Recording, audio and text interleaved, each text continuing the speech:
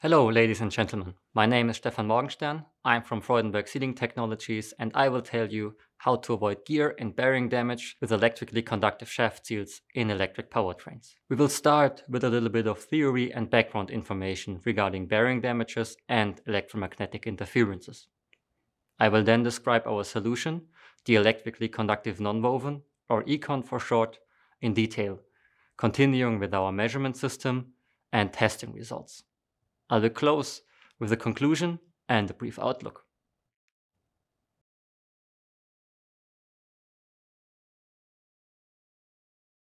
To better understand the phenomena of bearing damages and electromagnetic interferences, we need to look at the root cause that lies in the way an electric powertrain works.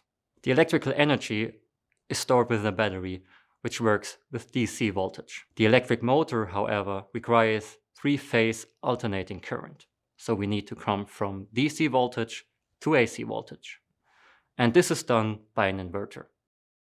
We can see two switches per phase of the electric motor, which represent the semiconductors. In the following, we will concentrate on only one phase of the electric motor. During operation, the two switches open and close in an opposite manner.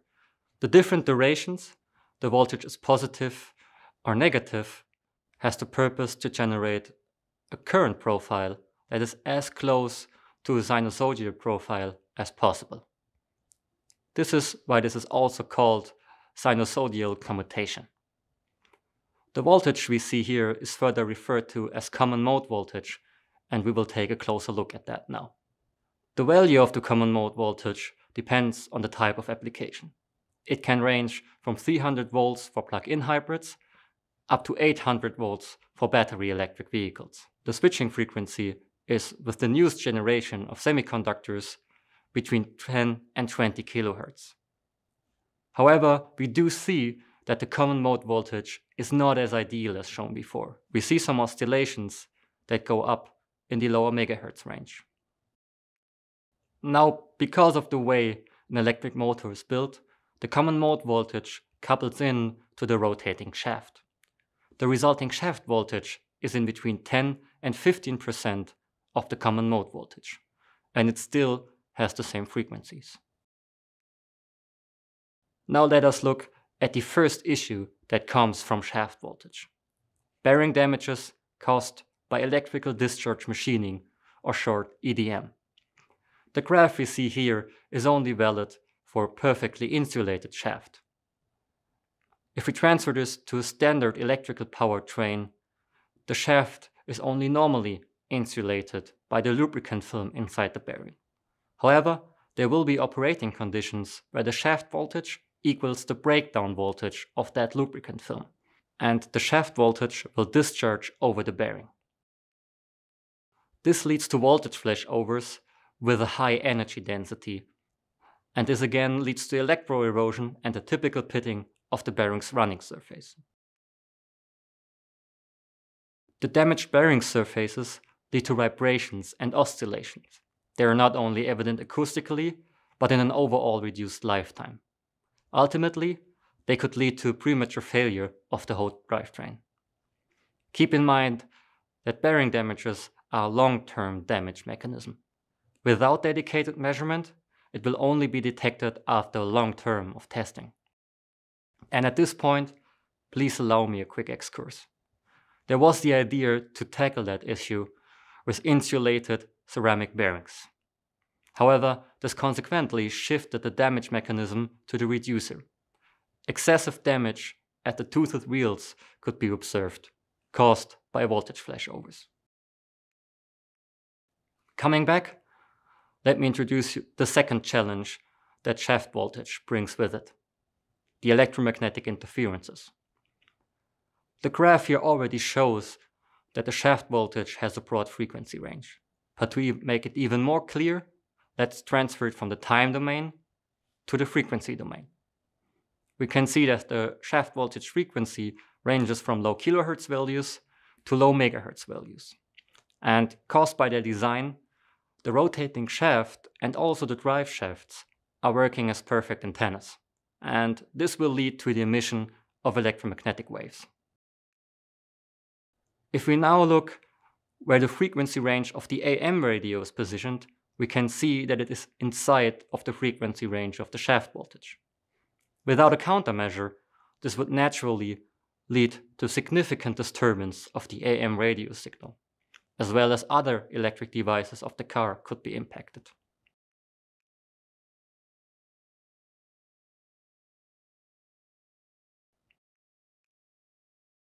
Now that we know about the challenges of shaft voltage, let me introduce our solution, which is the most integrated shaft grounding element on the market. The Econ LFS, our electrically conductive nonwoven combined with the low friction Simmerring. And this gives you a couple of unique advantages. First, we are nearly installation space neutral. We only require an additional space of 0.5 mm in thickness.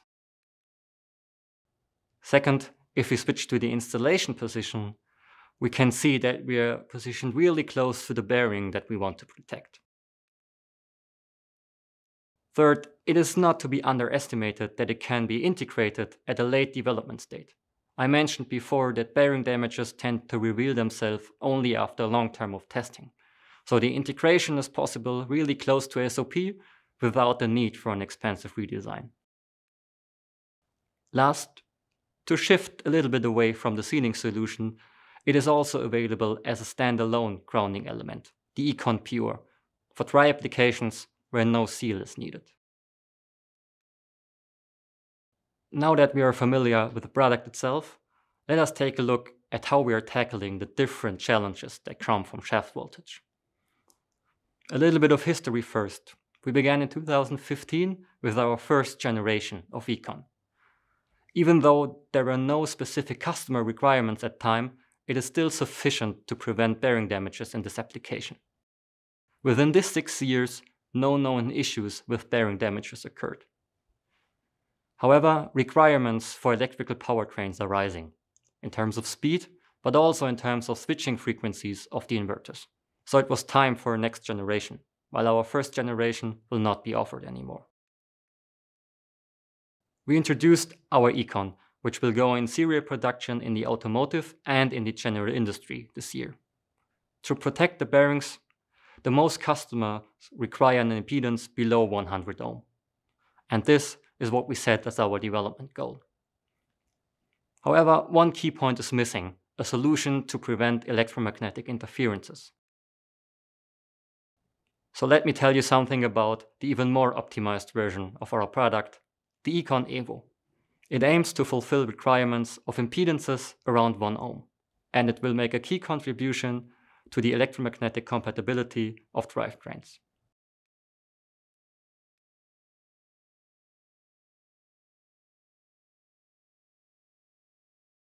Now we think that good product development only comes with equally good testing and validation method. This is why we set up a measurement system specifically designed for shaft grounding elements. It uses our existing sealing test rigs and mainly consists out of a bore plate that fits two conductive seals that you can see here in our laboratory.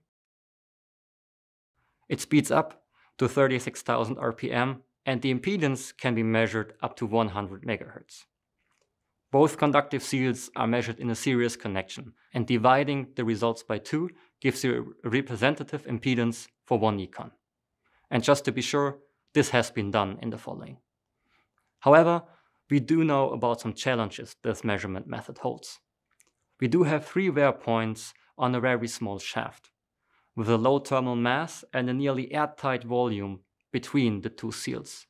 The thermal stresses here tend to exceed the ones in the application, and this leads back to that the impedance we measure ends up higher than in the application.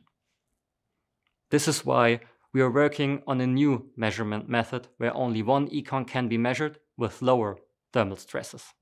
Once this is done, we want to introduce that as a standard measurement method for shaft grounding in the industry.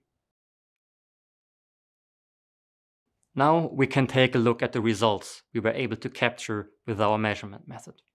We can see the impedance over time and as a reference, the first generation of Econ, which runs at approximately 10 kilo ohm. Next, the Econ achieves impedances below 50 ohm. it fulfills most customer requirements in terms of bearing damages and exceeds our set development goal of 100 ohm. Last, the Econ Evo runs at approximately 1 ohm. It suits perfectly the customer requirements for the prevention of electromagnetic interferences. Now that we know about the long-term testing results, we can try to transfer them to the shaft voltage. To do that, we have to take a look at the Bode plots of our econs. In the upper graph, you can see the impedance over frequency, and in the lower graph, the phase angle over frequency. If the phase angle is 0 degrees, we do have a pure ohmic electrical contact. If it's plus 90 degrees, it's an inductive contact, and if it's minus 90 degrees, it's a capacitive contact. Now we have to remember the shaft voltage without a grounding element, with its typical discharges and oscillations. If we now add an econ into that system, we can see that it is able to prevent the shown discharges. However, the oscillations in the higher frequency ranges still remain. This is where the Econ Evo comes in. Replacing the Econ with it, we can see that also the oscillations are gone. And this is due to the fact that the Econ has a pure ohmic contact in combination with a low impedance over a broad frequency range. Of course, the Econ Evo also prevents discharges over the bearing. The only thing we can see are some small peaks in the shaft voltage that come from the steep voltage increase during switching but they are also grounded by the econ solutions. Another important point is friction. Within the test series, the friction power at various speeds was defined. As a reference, the black line shows the low friction Simmerring without an econ. Adding the econ, we can see only a slight increase in friction as well as when the econ evo is added. This is due that higher contact forces and therefore higher friction is needed for the lower impedance. Generally, an increase in friction is not desired. But if we take a closer look at a speed that is equivalent to 60 kilometers per hour, we only can see an increase of 8 watts. And if we now consider the overall efficiency of an electric powertrain, as well as the potential damage of bearings by unchecked discharges, the benefits of the econ do clearly prevail. But let's say you are in a position where you further need to reduce friction. The econ can be offered with our low emission sealing solutions. One example is the Econ Levitex. The Levitex is a gas lubricated mechanical face seal. It was introduced for combustion engines at the Vienna Motor Symposium in 2014. And meanwhile, we are in serial production. For electric powertrains, the Levitex meets the highest requirements of our customers in terms of speed and pressure, as well as a combination of both. As it is for the Econ Levitex, first functional samples were provided to the customers. In addition, the Econ is also available in combination with our energy saving seal ESS. And summing all this up, our Econ and Econ Evo can be combined with various sealing solutions. And this brings me to my conclusion.